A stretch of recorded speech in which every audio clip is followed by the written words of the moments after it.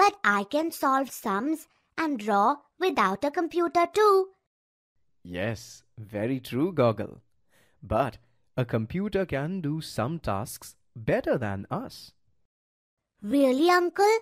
Yes, a computer can work much faster than we humans can.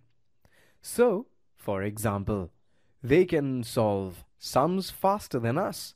Also, we can make mistakes, but a computer does not. Doesn't a computer ever get tired? No, Goggle. A computer neither gets tired like we do, nor does it get bored doing the same work over and over again. Okay, yes, I sometimes get tired and bored when mom asks me to practice the sums again and again. but it's good for you, Goggle. Also, a computer can store huge amounts of information in its memory, but we cannot store as much in our minds. Doesn't the computer forget ever, Uncle? No, Goggle. We humans do forget, but a computer never forgets the information stored in it.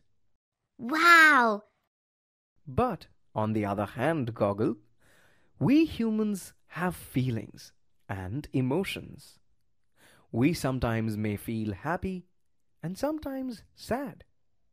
But a computer does not have any feelings or emotions.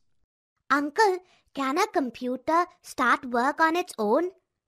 No, Goggle. A computer cannot start work on its own, as it cannot take decisions. Humans can take decisions, and thus can work on their own. Okay, so a computer is smart, but not as smart as us. True, Goggle.